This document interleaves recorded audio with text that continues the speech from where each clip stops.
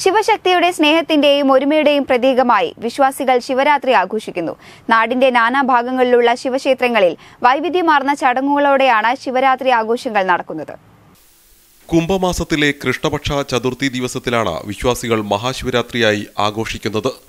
പാലാഴി മധുരം കഴിഞ്ഞുണ്ടായ കാളകൂട വിഷം ലോകരക്ഷയ്ക്കായി ഭഗവാൻ പരമശിവൻ സ്വയം പാനം ചെയ്തപ്പോൾ ആ വിഷം ഭഗവാനേൽക്കാതിരിക്കാൻ പാർവതീദേവിയും സർവചരാചരങ്ങളും ഉറങ്ങാതെ വ്രതമനുഷ്ഠിച്ച് പ്രാർത്ഥിച്ച ദിവസമാണ് ശിവരാത്രി ദിവസമെന്നാണ് ഐതിഹ്യം.